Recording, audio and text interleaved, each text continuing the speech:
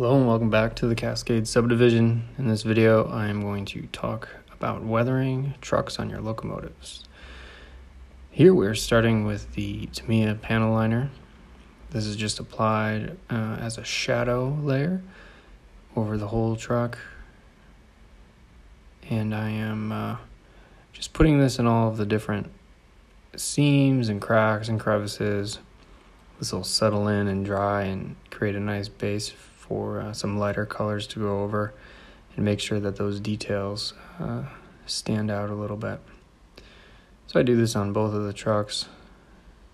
Just the applicator that comes with the uh, the bottle of panel liner it works great for this.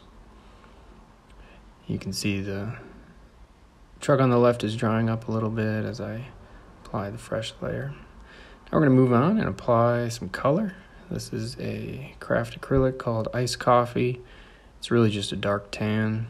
I really like this color. It, it dries up and kind of a tan gray color.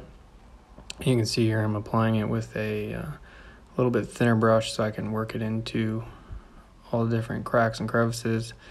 I've thinned down the paint a little bit, uh, kind of right in between out of the bottle and a thin wash. So it's right in the middle there, a little milky, but allows for good coverage, flows really well, but uh, won't totally obscure the uh, the silver color of the truck underneath. Just put a nice layer on top, and just work it into all the different areas around the, uh, the truck itself.